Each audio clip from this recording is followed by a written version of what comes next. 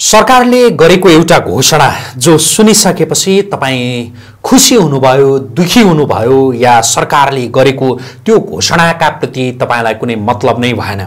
यो सोध्नका लागि अनि सरकारले जुन प्रकारको घोषणा गर्यो त्यो घोषणाका विषयमा मेरो आफ्नो व्यक्तिगत विचार यति बेला अभिव्यक्त गर्नका लागि म यहाँहरूका माझमा उपस्थित भएको छु। सन्दर्भ श्रम स्वीकृतिको वैदेशिक रोजगारीमा जान चाहनेहरूका लागि अब सरकारले एक घन्टाभित्रैमा श्रम स्वीकृति प्रदान गर्ने भएको छ।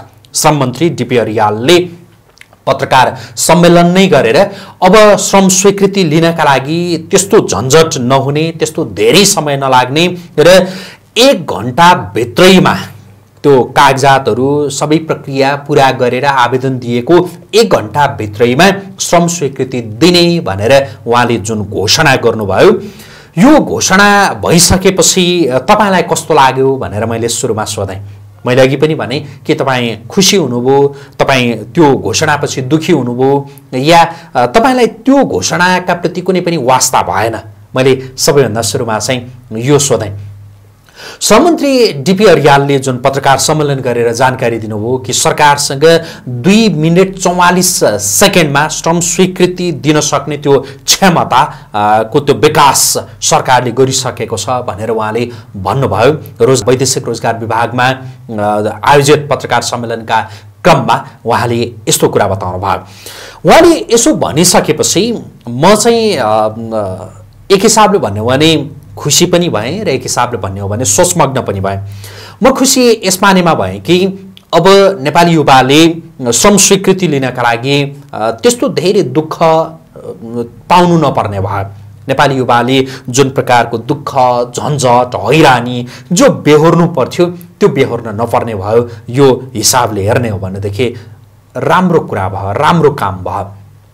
एक घन्टा भित्रैमा श्रम स्वीकृति प्राप्त गर्न सक्ने दुई मिनट चौवालिस सेकेन्डमा नै श्रम स्वीकृति त्यो दिन सक्ने क्षमता सरकारसँग भएको। तर कहिले नेटको समस्या कहिले विविध जो प्राविधिक कठिनाइका कारणले ढिलोमा एक घन्टाभित्रमा चाहिँ सकिन्छ। तर सरकारले दुई मिनट चौवालिस सेकेन्डमा नै श्रम स्वीकृति दिन सक्छ। दुई मिनट चौवालिस सेकेन्डमा। भनेर उहाँले जे भन्नुभयो। यसबाट चाहिँ एक हिसाबले सोच्ने हो भनेदेखि यो राम्रो भयो। किनकि अब जनताले युवाहरूले जो वैदेशिक रोजगारीमा जान चाहनेहरूले जुन प्रकारको हैरानी बेहोर्नु पर्थ्यो श्रम स्वीकृति लिनैको लागि त्यो अब झन्झटित लो प्रक्रिया त्यो हैरानी चाहिँ अब नहुने भयो। तर अर्को हिसाबले चाहिँ म एकदमै सोचमग्न भएँ। किन पनि भएँ भने जसरी नेपाली युवाहरूलाई विदेशमा पठाउनका लागि श्रम बजारमा त्यो वैदेशिक श्रम बजारमा पठाउनका लागि सरकारले एकदमै छिटो एकदमै द्रुत गतिमा काम गर्ने भएछ। यस्तै चाहिँ नेपालमा नै यही गतिमा नेपालमा नै जो रोजगारी गर्न चाहने हुनुहुन्छ नेपालमा नै केही गरौँ भन्ने जसमा सोच छ उहाँहरूका लागि यही गतिमा नै एकदमै छिटो नै त्यो खालको त्यो प्रावधान त्यो खालको व्यवस्था पनि गरिदिए कति राम्रो हुन्थ्यो होला भन्ने मलाई लाग्यो। हुन त यहाँहरूलाई पनि त्यो लागिरहेको होला। जस्तो एकजना कुनै व्यक्तिले म स्वरोजगार बन्न चाहन्छु म आफैले कुनै एउटा उद्यम सञ्चालन गर्न चाहन्छु कुनै एउटा व्यवसाय सञ्चालन गर्न चाहन्छु भनेर अघि बढ्ने हो भनेदेखि यति बेला के कति सजिलो छ या अप्ठ्यारो छ तपाईँ जसले गरिरहनु भएको छ तपाईँहरूले भोगि नै रहनु भएको छ। झन्झटिला त्यो प्रक्रियाहरू कति छन्? एउटा व्यवसाय सञ्चालन गर्ने म अब स्वरोजगार बन्छु भनेर सोच्ने हो भनेदेखि एउटा व्यवसाय दर्ताका लागि पनि कतिवटा प्रक्रिया कति ठाउँमा पुग्नुपर्छ यसो सोच्नुहोस् त कति झन्झटिलो छ त्यो दर्ताका लागि। त्यति सजिलो छैन। अहिले जसरी श्रम स्वीकृतिका लागि दुई मिनट चौवालिस सेकेन्डमा नै सरकारले त्यो श्रम स्वीकृति दिन सक्छ। एक घन्टाभन्दा बढी समय व्यतीत गर्नु पर्दैन भनेर जसरी श्रम मन्त्रीले घोषणा गर्नुभयो त्यसै गरी श्रम मन्त्रीले श्रम रोजगार तथा सामाजिक सुरक्षा मन्त्री डिपी रियाल जो हुनुहुन्छ सरकार जुन छ यति बेला नेपालका सरकारहरूले यसै गरी तपाईँ नेपालमा नै केही गर्न चाहनुहुन्छ भनेदेखि तपाईँका लागि हामी एकदमै छिटो तपाईँ कुनै व्यवसाय दर्ता गर्न चाहनुहुन्छ भने हामी त्यो एकदमै छिटो सहजीकरण गरिदिन्छौँ। त्यस्तो झन्झट हुँदैन। तपाईँले आवेदन दिएको यति मिनट यति सेकेन्ड या यति घन्टाभित्रमा नै तपाईँले त्यो प्रमाणपत्र पाउनुहुन्छ भनेर यस्तो खालको घोषणा गरिदिएको भए कति राम्रो हुन्थ्यो होला। अनि सँगसँगै तपाईँहरूले व्यवसाय जो सुरु गर्न चाहनु भइरहेको छ तपाईँहरूले जो साना मजौला प्रकारका जो व्यवसायहरू थोरै लगानीमा जो व्यवसाय गर्न चाहिरहनु भएको छ तपाईँहरूलाई व्यवसाय सञ्चालनका दौरानमा विभिन्न समस्याहरू आउन सक्छन् विभिन्न कुरा थाहा नहुन पनि सक्छन् जस्तो कतै ट्याक्सका कुराहरू त्यसै गरी अन्य विविध जो विषयहरू थाहा नहुन सक्छन् त्यस्ता विषयमा सरकारले सहजीकरण गरिदिन्छ सरकारले तपाईँलाई सबै कुरा राम्रोसँग बताइदिन्छ सरकार तपाईँको सहयोगी बनिदिन्छ तपाईँलाई राम्रोसँग त्यो व्यवसाय सञ्चालन गर्न दिनका लागि तपाईँले जे गर्न खोजिरहनु भएको छ त्यो राम्रो कामका लागि सरकार तपाईँको अभिभावक सहयात्री राम्रो एउटा साथी बनिदिन्छ यसो चाहिँ गर्नुहोस् यसका लागि त्यत्रो समय लाग्दैन। यति मिनट या यति घन्टा या यति दिनभित्रैमा तपाईँका ती सबै कामहरू हामी एकदमै द्रुत गतिमा फत्ते गरिदिन्छौँ भनेर यो प्रकारको घोषणा नेपाली युवाहरूले सुन्न चाहिरहेको विषय हो। नेपाली युवाहरूले यस्तो सुन्ने त्यो दिनको परिकल्पना गरिरहेका छन्। त्यसैले वैदेशिक रोजगारी यति बेला नेपाली युवाहरूको बाध्यता बनेको छ। नेपाली युवाहरू वैदेशिक रोजगारीमा जानै पर्ने त्यो अवस्थामा पुगेको स्थिति छ। तर वैदेशिक रोजगारीका लागि भन्दा पनि यही स्वदेशमा नै रोजगारीका लागि चाहिँ सरकारले द्रुत गतिका यस्तै त्यो कामहरू अभियानहरू सञ्चालन गरिदिएदेखि कति राम्रो हुन्थ्यो होला। मैले चाहिँ यो ढङ्गले सोचेँ।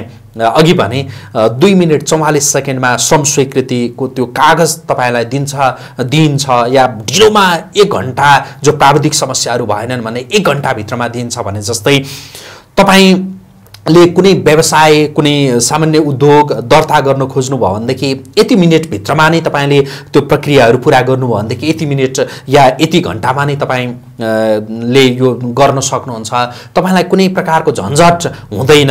अनि तपाईँ जुन कर तिर्न जानुहुन्छ कर तिर्न जाँदाखेरि पनि जुन प्रकारको तिर्नका लागि सरकारलाई पैसा बुझाउनका लागि कुनै व्यवसाय गरिसकेपछि जे जो कर तिर तिरिन्छ त्यो कर तिर्न जानका लागि पनि तपाईँलाई त्यो घन्टौँ लाइनमा बस्नुपर्ने या भनौँ त्यो घन्टौँका जो प्रक्रियाहरू या यो कागज मिलेन त्यो कागज मिलेन यो यस्तो भयो उस्तो भयो भनेर जसरी कागजहरू फालिन्छ।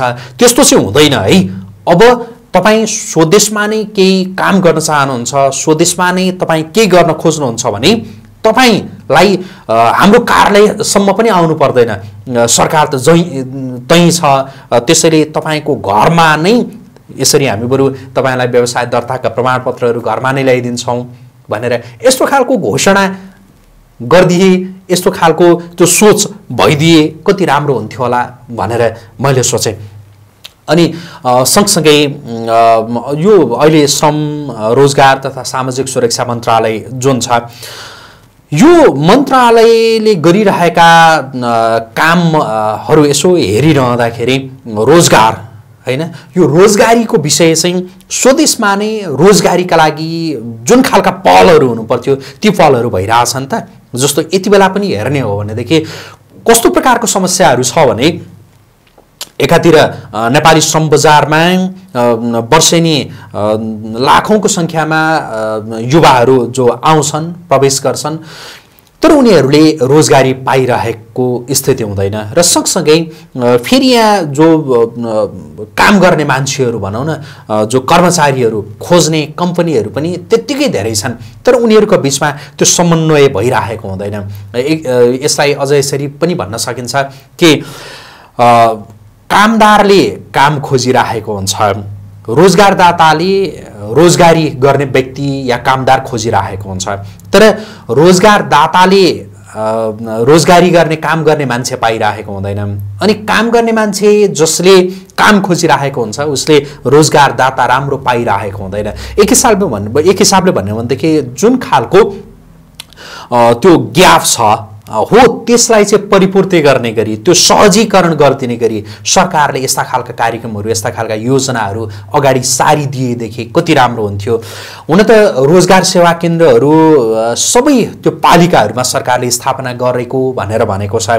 तर ती रोजगार सेवा केन्द्रहरू कतिको प्रभावकारी भए त भनेर यसो हेर्ने हो भनेदेखि ती रोजगार सेवा केन्द्रहरू प्रभावकारी भए त प्रभावकारी छन् त। जो सिपयुक्त सिपवान जो कर्मचारीहरू भनौँ या युवाहरूको त्यो खोजी गर्ने र एक हिसाबले भन्नु भनेदेखि त्यो समन्वय गरिदिने जुन रोजगारदाताका बिचमा त्यो समन्वय गरिदिनका लागि ती र त्यस्ता सेवा केन्द्रहरू प्रभावकारी भइरहेका छन् त भनेर हेर्ने हो भनेदेखि प्रभावकारी त्यस्तो देखिँदैनन्। त्यसैले बरु रोजगारदाता र कामदारका बिचमा त्यो समन्वय गराइदिने प्रकारका अभियानहरू सञ्चालन जो केही हदसम्म भइरहेका छन् तर तिनीहरू प्रभावकारी हुन सकेका छैनन्। यतातिर चाहिँ अगाडि बढिदिए कति राम्रो हुन्थ्यो भन्ने लाग्यो। केही वर्ष अगाडिसम्म वैदेशिक रोजगार प्रवर्धन बोर्ड नाम गरेको एउटा सरकारी कार्यालय थियो। त्यसको नाम मात्रै परिवर्तन भएको छ अहिले। केही वर्ष पचहत्तरसम्ममा हुनुपर्छ पचहत्तर छत्तर त्यति बेलासम्म नेपालमा वैदेशिक रोजगार प्रवर्धन बोर्ड अहिले यसको नाम चाहिँ परिवर्तन भएको छ जस्तो लागेको छ प्रवर्धन बोर्ड। यसो सोचौँ त। वैदेशिक रोजगारीको प्रवर्धन गर्नका लागि वैदेशिक रोजगारीमा धेरैभन्दा धेरै युवालाई पठाउन कसरी सकिन्छ भनेर त्यो चिन्ता लिने प्रकारको बोर्ड नै नेपालमा थियो। अहिले त्यसको नाम परिवर्तन भएको छ।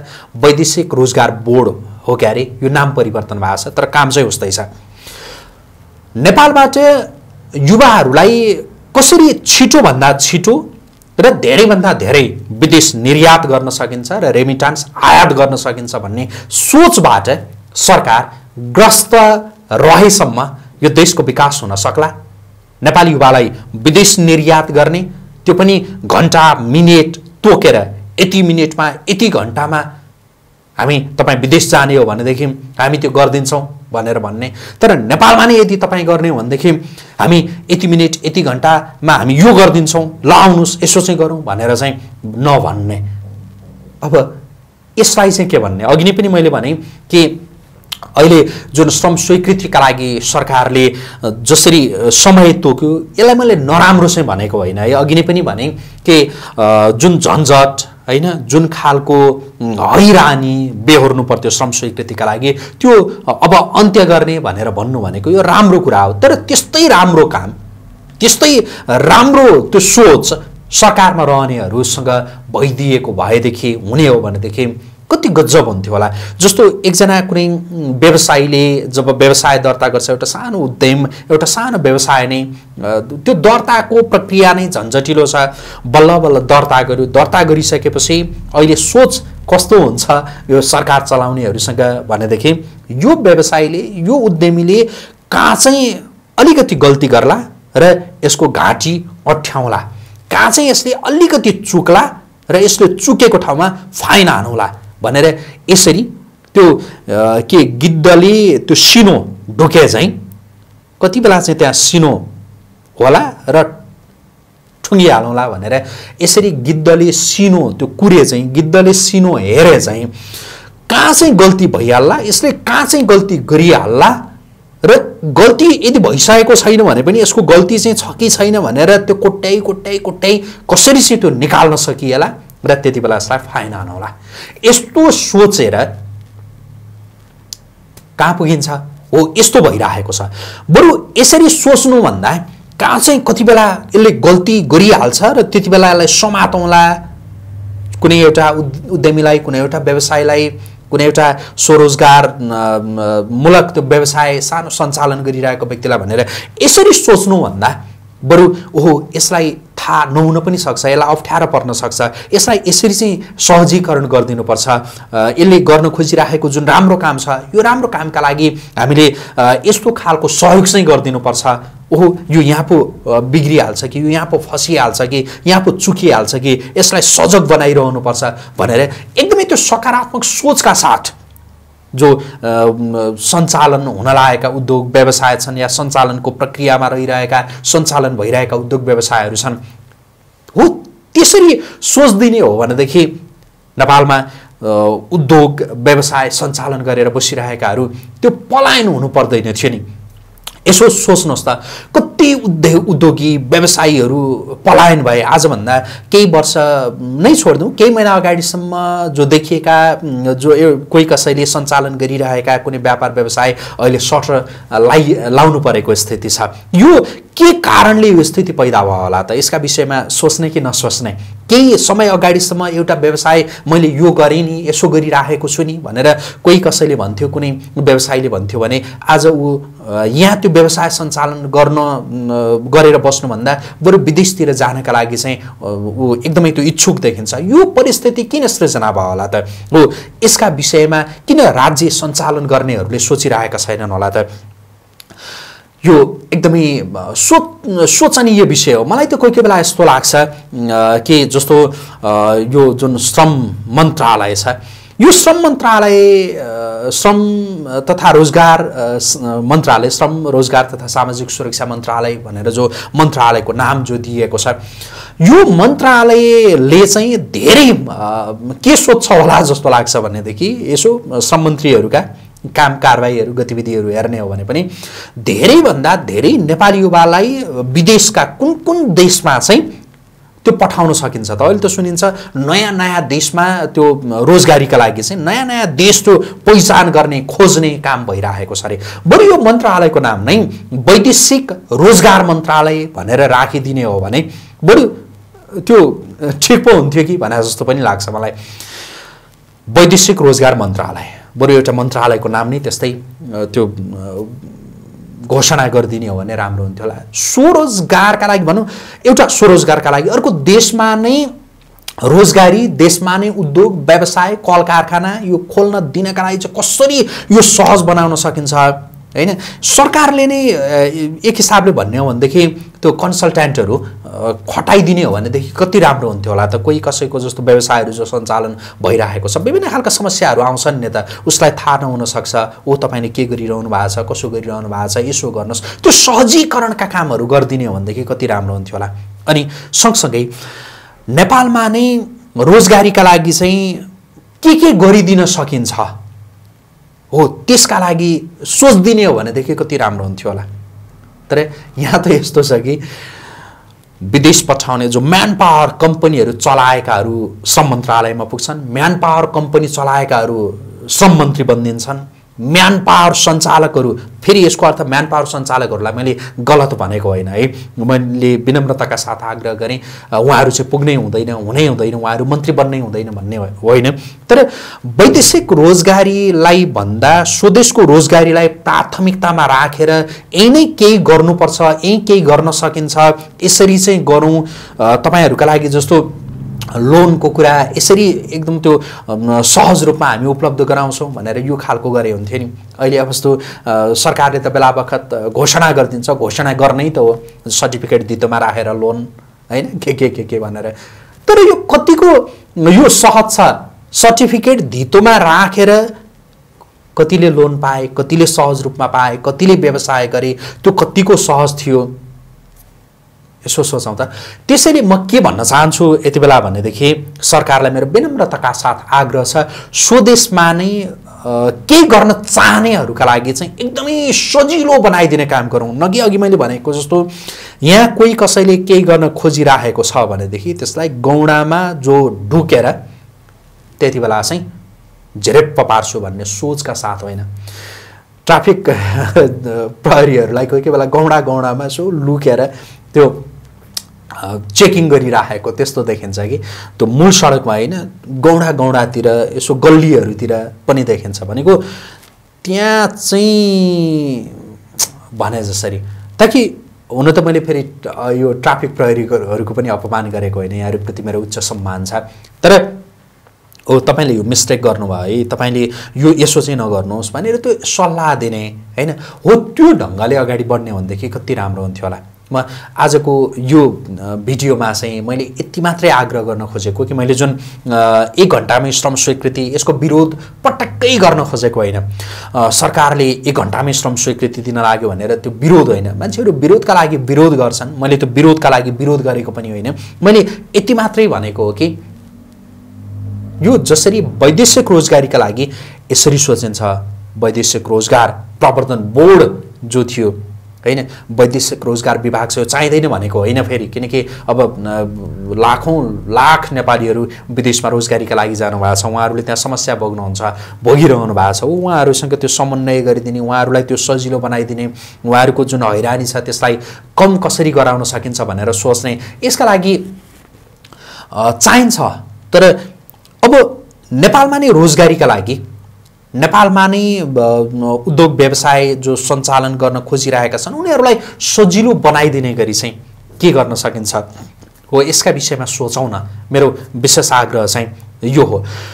कति व्यवसायीहरूको कति जो साना उद्यमीहरूको कुरा सुनिन्छ जस्तो एउटा व्यवसाय दर्ता गर्यो दर्ता गरिसकेपछि अब जुन त्यो कर तिर्नका लागि जो कतिलाई त्यो कहाँ कसरी तिर्ने के गर्ने कुन कुन शीर्षक अन्तर्गत तिर्ने यस्ता विषयहरू थाहै छैन। थाहा हुँदैन।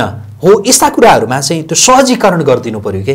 अनि व्यवसाय दर्ता त गर्यो तर व्यवसाय दर्ता गरिसकेपछि त्यसपछि कर तिर्ने बेलामा कम्ता झन्झट हुँदैन कम्ता झन्झट भएन भनेर त्यो भनेको सुनिन्छ। अनि हो त्यसका लागि एउटा सानो व्यवसाय सञ्चालन गर्यो अनि हो त्यो सानातिना त्यस्ता काम गर्नका लागि अर्को अलग्गै मान्छेहरू राखिरहनु पर्ने यस्तो बाध्यता छ। त्यो सामान्य एक हिसाबले भन्यो भनेदेखि यस्ता ट्रेनिङहरू सञ्चालन गर्न सक्दैन राज्यले सक्छ नि यस्ता ट्रेनिङहरू दिदियोस् ताकि एकजना जो उद्यमी एकजना व्यवसायलाई कर तिर्न ऊ खुसीले जाओस् के? ताकि कर तिर्न जाँदाखेरि नि ओहो यहाँ चाहिँ अब के भनिदिन्छ? यो फाइल चाहिँ कता पठाइदिन्छ? यो चाहिँ के गरिदिन्छ? यस्तो समस्याहरू। कर तिर्नै मात्रै होइन। अरू थुप्रै त्यो झन्झटहरू बेहोर्नु परिरहेको छ। अघि नै भने जसले त्यो उद्योग व्यवसाय सञ्चालन गर्न जो अ, चाहन्छ अझ यो यति बेला जो वैदेशिक लगानी त्यो एक खालको सम्मेलनको पनि कुरा छ क्यारे। लगानी त्यो सम्मेलन पनि अब नेपालमा कहिले हुँदैछ गरिँदैछ भन्ने छ क्यारे। नेपालमा जो लगानी गर्छु भन्नेहरूका लागि कति झन्झट छ होइन?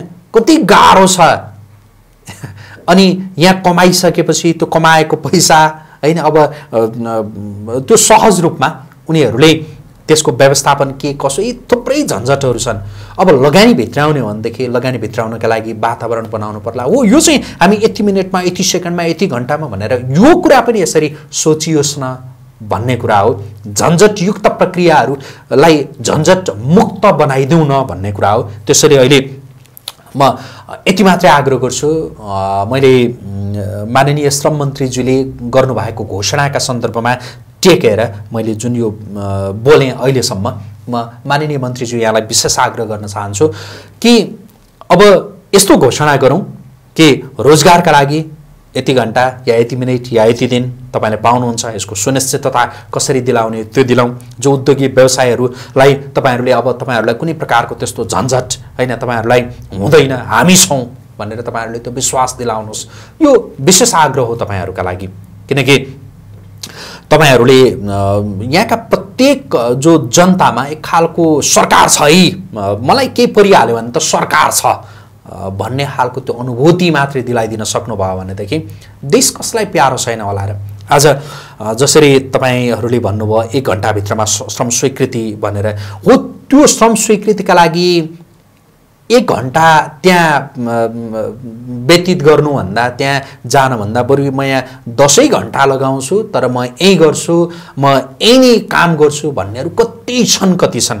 तर राज्यले यसरी बाध्य पार्छ कि युवाहरूलाई विदेश नगइकन त्यो सुखै छैन सुखै नदिने प्रकारका यहाँ त्यो वातावरण यहाँ तयार गरिन्छ। अनि के गर्ने? अहिलेका लागि मैले यति भने सोचिदिनु होला। विनम्रताका साथ मेरो आग्रह सरकारमा रहनेहरूलाई।